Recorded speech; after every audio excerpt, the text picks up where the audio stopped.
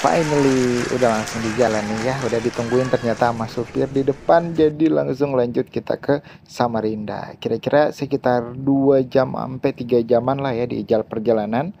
Dan kayak gini nih kita bisa ngelihat pemandangan yang luar biasa juga. Ya sambil apa ya istirahat bentar juga nih karena capek juga. Ini udah sekitar jam 2 apa jam 3 sore gitu nih ini lihat mukanya. Oh muka capek guys. Akhirnya kita tiba juga di Samarinda dan kita bakalan langsung menuju ke tempat di dekat Sungai Mahakam. Soalnya aku bakalan boat trip selama kurang lebih tujuh hari sampai ke uh pokoknya dalam banget deh. Pokoknya jauh banget beberapa ratus kilometer pokoknya kita bakalan menyusuri Sungai Mahakam. Jadi jangan lupa untuk ikutin terus ya. Jangan lupa juga komen kira-kira kamu pengennya aku ngeliatin apa nih. Mungkin ada orang Samarinda di sini. Oke, ini dia. Kita udah nyampe, tinggal naik kapal boatnya yang di sebelah ya, warna merah.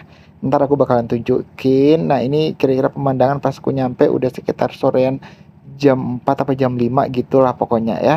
Dan ini nih udah nyampe di Sungai Mahakam pertama kali aku nyampe itu kelihatan masjid, masjid terbesar kedua di Southeast Asia atau Asia Tenggara. Dan nah di sini tuh banyak banget kafe-kafe enak banget sebenarnya buat nongkrong ya. Tapi hmm, aku nongkrongnya di atas kapal aja deh.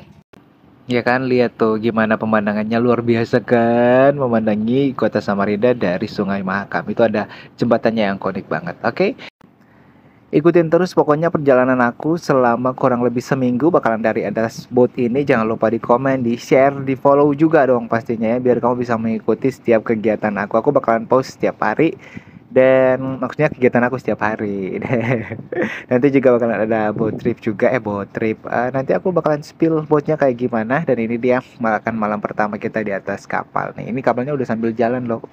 Enak banget bakalan aku spill juga makanannya tiap hari kayak gimana dan ini sambil nikmatin udara angin sepoi-sepoi yang ada di Sungai Mahakam. Jangan lupa ya di follow dulu guys.